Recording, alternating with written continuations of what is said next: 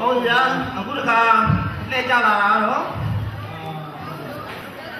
ကိုဒီဝါကိုမျိုးမျိုးရဲ့သားလေးရက်ကနေပြီးရက်ကနေပြီးတော့မှပုံပြရမယ်ဒီနေ့ကျဆင်မကြောင်းနေဘာမှမကြပါဘူး